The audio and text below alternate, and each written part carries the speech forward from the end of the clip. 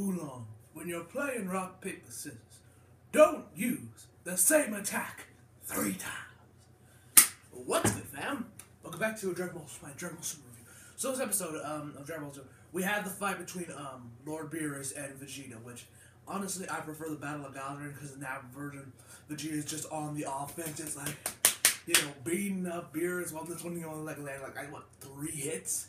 The other one he's just like you know. But I feel like, uh, it, but so and also and the line, and you know when uh, when Vegeta went to like, don't hit my bomb mode, pretty much uh, when he said like where uh, Master said he is like he uh, Vegeta's like rage has made him stronger than Goku. That line is completely out of this episode, or at least I didn't hear it. Which uh, I really like as well. So, you know, guys, I actually forgot to mention this my last one. If this happens to Vegeta, I'm curious what happens to Goku if like someone like slapped like Chi Chi, like like a beer slapped Chi Chi or like slapped Chi, I'm curious what would happen to Go- what would be Goku's reaction.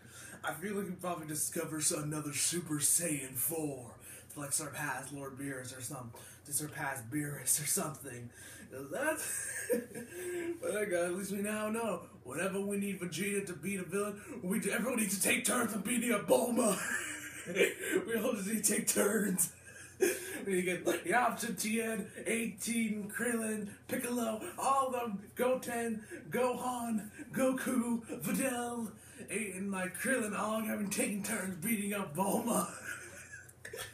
oh my god. Uh, so and also, it's also weirdly we get like a shot of Emperor Pilaf like escaping the boat, escaping from the cruise. Completely pointless. I do not know why that was included into other than for like the like for like time. I don't to like I don't know for time. Then we had the rock paper scissors match between um um between him between Beerus and um